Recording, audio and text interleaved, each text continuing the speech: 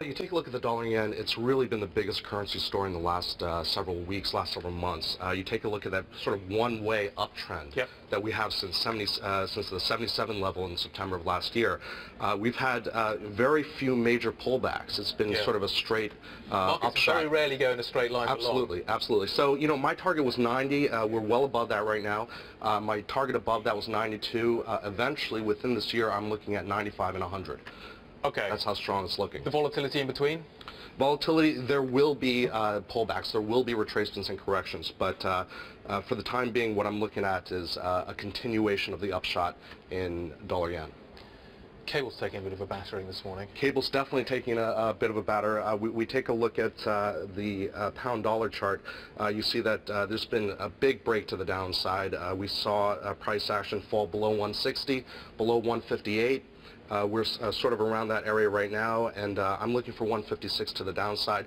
Further weakening on the British pound uh, down to possibly 150 uh, support. Timeline on that? Uh, I'm looking the next several months. it's looking very bearish. Okay. And is that reflected also in, in euro sterling as well? Is this, the, is this across the pairs? Uh, yes, I mean, if you take a look at the euro, uh, I'm sort of bullish on the euro because uh, we are seeing uh, a very strong bullish trend. We're seeing a strong uh, bearish trend on the uh, pound dollar. All you need to look at is euro pound to see the upshot of the uptrend in the euro pound. You see that manifested. Okay, I, it's interesting. We're going to talk to a, uh, a, sort of more fundamental analyst a little bit later on. He thinks that that uh, the euro is going to be the kind of the rock star of 2013. That it's going to be where all the where all the action is to the upside, and whether that's a good thing or a bad thing from a fundamental point of view is is a is a totally different discussion.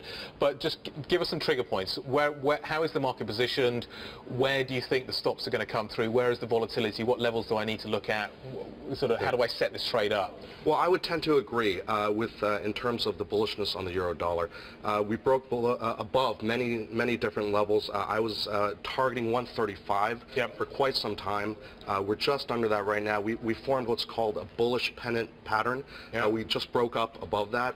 I'm looking above 135. I'm looking to 137, sort of intermediate term, and then up to 140.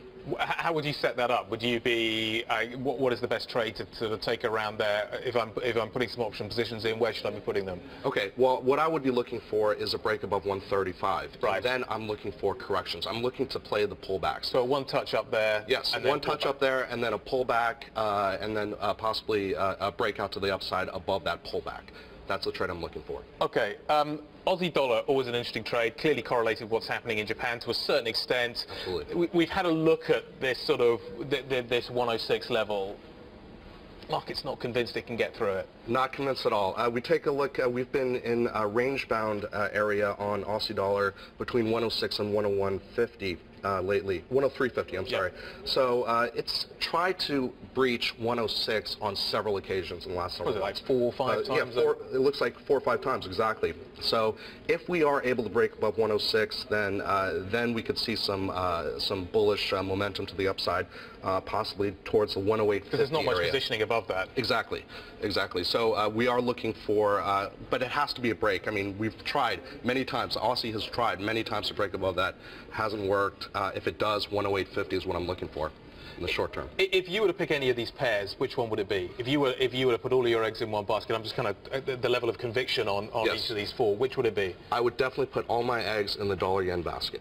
Right. At this point, uh, because we are seeing such a strong bullish trend, and uh, I'm looking for that to continue. Is is dollar yen the right way to play the yen story? I, is euro yen is is is is yen won the right way? What is the best pair? I know that's where the flow is, and yep. I know that's where the liquidity is, but is that the best pair? I think it is. I think the dollar yen is, uh, as opposed to the euro yen, we've seen, uh, you know, amazing, uh, an amazing bullish trend on this, and I'm looking for it to continue. Uh, you know, you could play the pullbacks, and you could play these uh, big moves to the upside that we've been seeing in the last several months.